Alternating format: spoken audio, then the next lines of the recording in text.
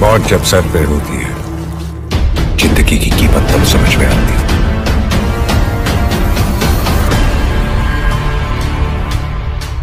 आपके सोने का कैरेट हमारे कैरेक्टर को खराब नहीं कर सकता।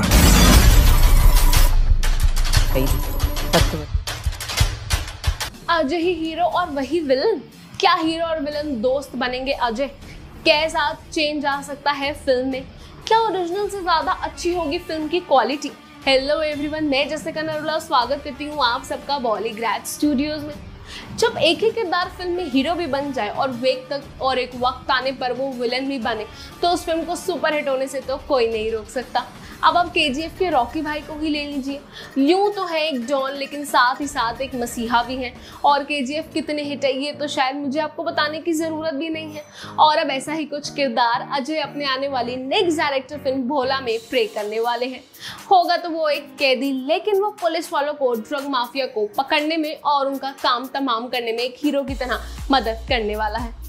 ये फ़िल्म साउथ की सुपरहिट फ़िल्म कैथी का रीमेक है और इस फ़िल्म में साउथ सुपरस्टार कैथी ने ऐसा ही रोल प्ले किया था जिसे अजय अब रिक्रिएट करने वाले हैं, लेकिन उनका अंदाज काफ़ी डिफरेंट होने वाला है। हम शुरुआत से लेकर अंत तक ये ही पता नहीं कर पाएँगे कि आखिर अजय हीरो है या विलन क्योंकि उनके साथ काम ही ऐसे होंगे और इसीलिए तो इस फ़िल्म का क्लाइमैक्स एकदम होगा खास। जिससे हम सभी के सारे सवालों के जवाब हमें मिल जाएँगे। साथ ही ये फ़िल्म एक ट्विस्ट के साथ आएगी। ओरिजिनल में हमने देखा था कि कैथी का पार्ट वन उस जगह खत्म होता है, जहाँ हम सभी को ये शक होता है कि कैथी ही वही है जिसकी वजह से ये सब कुछ हुआ। वैसे तो उसने पुलिस की मदद की थी, लेकिन अब वो इन सबसे डायरेक्टली कनेक्टेड था और आगे की कहानी हमें पार्ट टू में दिखाई जाती।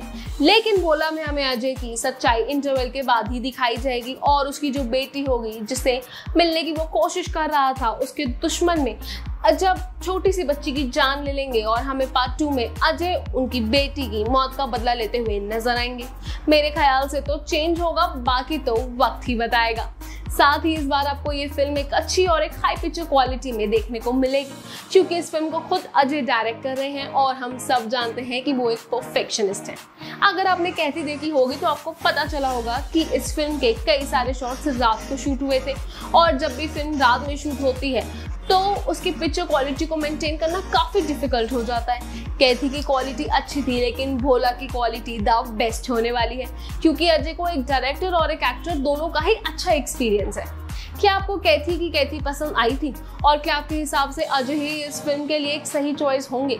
ये हमें कमेंट सेक्शन में ज़रूर बताइएगा। उम्मीद है आपको आज का वीडियो पसंद आया होगा, और ऐसी ही वीडियो देखने के लिए हमारे चैनल को सब्सक्राइब करना ना भूलें। तब तक के लिए धन्यवाद।